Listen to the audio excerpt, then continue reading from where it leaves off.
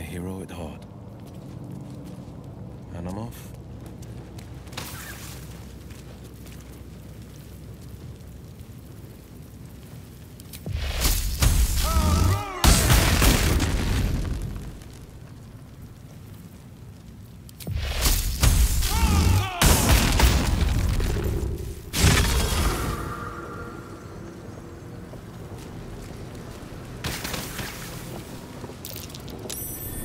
that.